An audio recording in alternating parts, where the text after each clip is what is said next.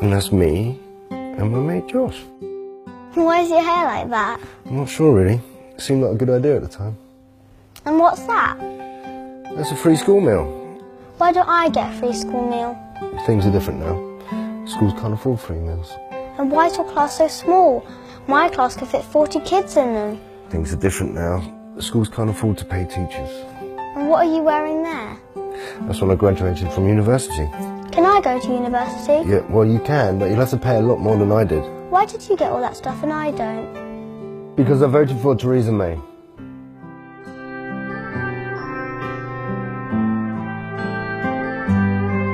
Dad, do you hate me? Obviously.